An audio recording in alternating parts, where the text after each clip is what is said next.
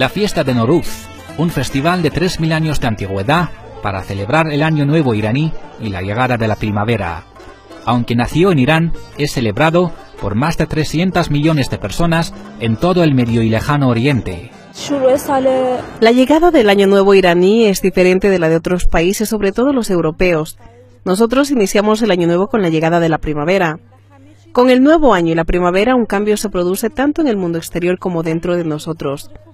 Esto significa un nuevo comienzo, un tiempo para rehacer decisiones de vida o ponerse al día en las tareas pendientes. Las celebraciones incluyen comidas especiales, regalos y encuentros familiares.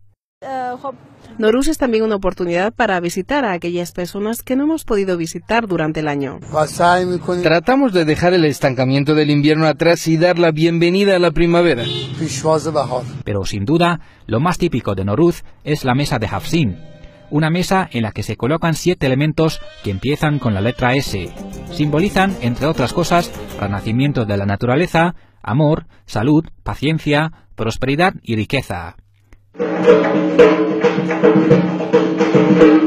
En Irán, el evento trae consigo distintos festivales, todos para recordar el patrimonio cultural de Noruz. El valor de Noruz para los iraníes es muy único. Debemos llenarnos de este valor de manera que el resto del mundo se entere de la importancia de esta celebración para nosotros. Es parte de la cultura y los ritos de Irán. En 2010, Noruz entró en la lista del Patrimonio Cultural Inmaterial de la Humanidad de las Naciones Unidas.